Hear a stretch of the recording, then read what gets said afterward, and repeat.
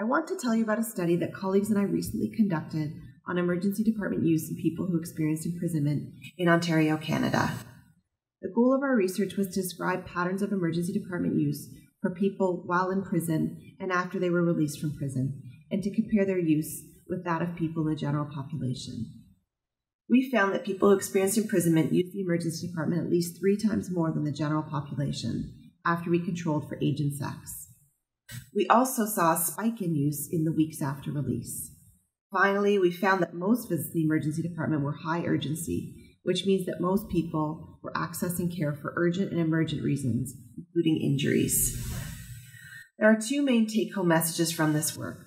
First, we need to provide services and care that help people improve their health and experience fewer emergent health issues. Second, emergency departments should consider how they could best provide high quality care for people while in prison and after release. Please click the link below to read the full article and get in touch if you want to discuss this study or its implications.